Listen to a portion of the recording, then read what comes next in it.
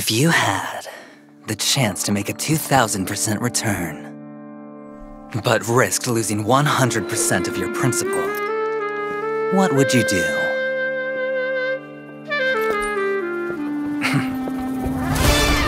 the math is simple. There's no way to define the value of a single chip.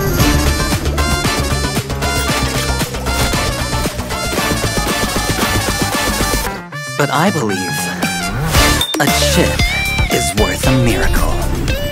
The dice are cast. It's all or nothing now. This is humanity in its most primitive form. But life would be quite dull if it were just an unending series of wins, wouldn't it?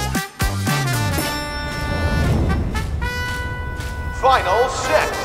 Duel. Welcome, challenger. Let me see. Are you brave or foolish? Let's raise the stakes.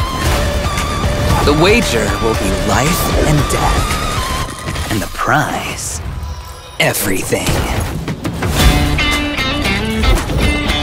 Seems to be a slight misunderstanding, my friend. At this table, you are the challenger.